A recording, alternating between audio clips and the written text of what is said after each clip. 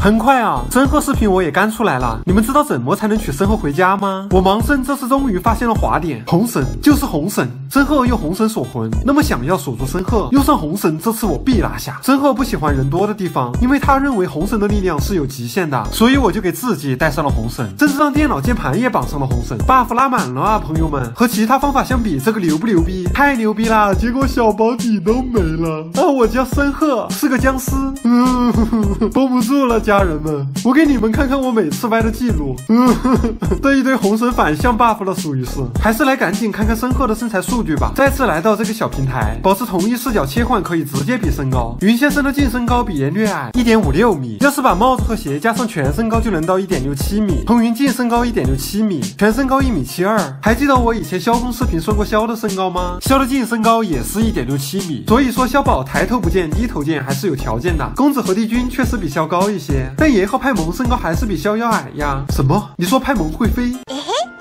身后净身高一点七五米，他的鞋跟太高了，再加上头饰，全身干到了一米九二。巧了，也一样。嘿嘿，直接来到正面画面啊，身后的身材饱满而又含蓄，不是丰富而又简洁。正面画面根据线条勾出轮廓，进而根据轮廓画出模型。正面胸围宽二十四点零九厘米，正面下胸宽十八点三五厘米，正面腰围宽十七点一二，半径长度六点九七。我发现很多角色侧面线条都会被手臂挡住，所以每次都得坚持运动的发展观，截到标准的侧面画面，由头高顺出所有侧面的。数据建立我原创的俯视横切面模型，胸围模型可以拆分为上方重合部分、两侧非重合的弧长、两侧重合四分之一圆弧，还有下方的间距 C。计算得到胸围为八十五点九二厘米。下胸围模型拆分为矩形和一个整圆，算出下胸围六十三点三一厘米，胸围差为二十二点六零厘米。这个差值在 F 和 G 之间，不过更偏向于 F。我惊了，这块布就像身后含蓄深邃的性格，怎么都遮挡不住强大的实力。国际尺码为六十五 F，英式尺码为三十 F，它的躯干实实在。是太细了，腰围也只有五十一点九八厘米，臀围反而是最大的，达到了九十七点二八厘米。申鹤喜欢人间的灯火，喜欢山林的月光，还喜欢正在看视频的你。我甚至不敢打扰你和申鹤，因为我害怕申鹤会让我消失。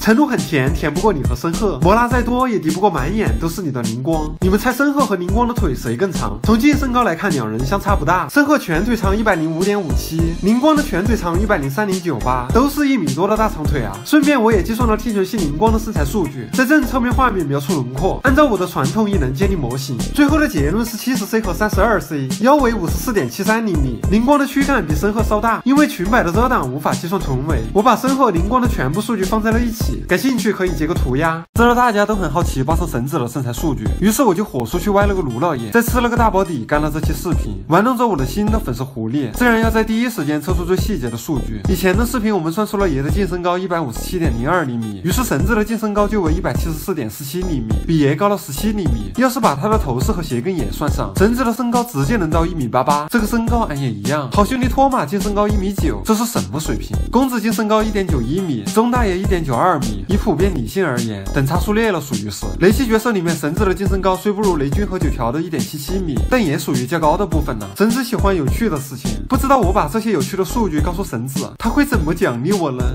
选择一个侧面的角度观察绳子的腿长，侧身四十五度的姿势，既可以确定脚后跟的位置，又能清楚的看到腿长。我们按照曲线描出轮廓，大腿长五十四点五八厘米，小腿长五十点八六厘米，全腿长也到了一米多，这就是身高一半多全是腿了吧？这个腿长和 Kiara 的一点零一米，小青的一点零二米，马克队长的一点零三米，公孙离的一点零四米，牙医的一点零五米，申鹤的一点零六米相当接近。好家伙啊，绳子的服饰比较有特点，在束腰的外面还多了几块布料。正面描轮廓时需要减。减掉束腰的厚度，侧面描轮廓时需要减掉束腰的厚度和多余布料的厚度。正面胸围宽二十一点八三厘米，正面下胸宽十九点二五厘米，正面腰围宽十九点零四厘米。整子侧面胸围宽二十一点六零厘米，侧面下胸宽十六点五六厘米，侧面腰围宽十三点八八厘米。下面的步骤相信大家都很熟悉，建立我原创的俯视横切面模型，标注出全部数据。数据算多了，其实根据模型也能大致猜测，圆心位于绿色线之内，且两个圆心的距离较近，圆形区域重合的部分较多，这样计算出来的差值不会像雷神九。九条那么大，但圆心与绿色线距离较近，也应该不会像神力的结果那么含蓄。最后的胸围为八十点七二厘米，下胸为六十六点三八厘米，胸围差为十四点三四厘米，国际尺码为六十五 C，一次尺码为三十 C。这个数据不知道绳子大人还满意吗？和雷电将军的处理一样，为了把束腰厚度和衣服的厚度减掉，很多曲线都是手动化的，数据仅供娱乐，还希望大家都能看得开心呀。绳子的腰围五十三点九三厘米，因为裙摆的影响无法计算臀围，我把目前算到的所有数据都放在了一张全图上，图名就暂且叫做八重绳子与我的二三四。我不会写轻小说，也不会做油豆腐，不知道这些算不算有趣的数据啊？能不能让绳子露出笑容？兄弟们，要不顶我到游戏里，让绳子大人看看。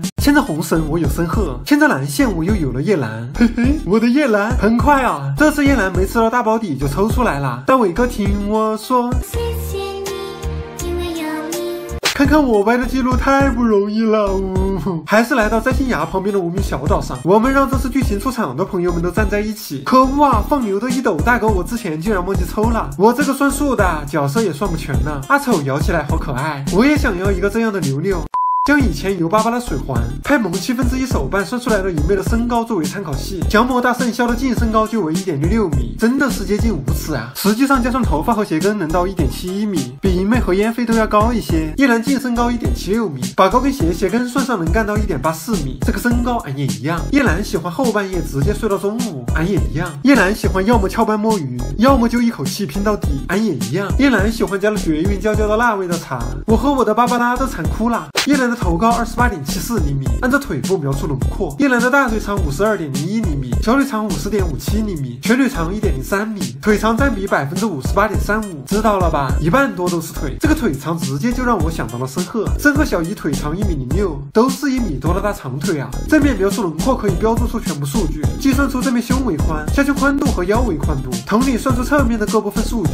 叶兰的背部是一条弯曲的弧线，会导致侧面上下胸围宽差距较大。角色这样设计也能。使腰围偏细，按数据的比例建立我原创的俯视横切面模型，每根线都严格按照计算的比例。这次的模型也是倾斜的椭圆，倾斜会导致下方横线的焦点不在椭圆的顶点上。按比例测算各条线的长度，胸围宽八十五点三五厘米，下胸围六十五点二七厘米，胸围差为二十点零八厘米，几乎刚刚好适宜。国际尺码为六十五亿，英式尺码为三十亿，误差可能来源于椭圆的模型以及倾斜的角度。叶兰的腰围用大圆弧模拟，腰围数据为五十六点四五厘米。嗯，怎么说呢？还是比我的脑袋细。叶蓝衣服渔网布的上方会有厚度，我画线也把这部分的厚度去除了，这部分误差相对应该较小。臀围的模型，我的思路是上方是小圆角，下方是接近圆形的大圆角。臀围数据为九十六点三九厘米，因此 BWH 就为八十五、五十六和九十六。顺着现在夜兰的全部数据就出来了，仅供客观的参考，不代表官方数据。我把我测出的全部数据做成一张全图，感兴趣可以暂停一下呀。我是专人川小三，我们下期再见。